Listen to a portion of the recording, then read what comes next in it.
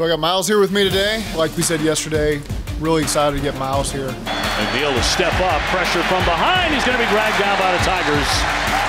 As they get to the quarterback, that's Myles Murphy. And getting a guy that brings position flex. He's played both outside and inside. Leary out of the backfield tonight, nowhere to go. Myles Murphy makes the stop. Can rush from different spots. Daniels swarmed and sacked. This time it's the Clemson pass rush. Big Myles Murphy like a freight train. Oh, he'll be in the rotation right away. Leary swarmed again, sacked for a third time tonight. Myles Murphy. This wasn't a scenario we thought was going to play out for us. I didn't think that Myles Murphy was going to be there 28.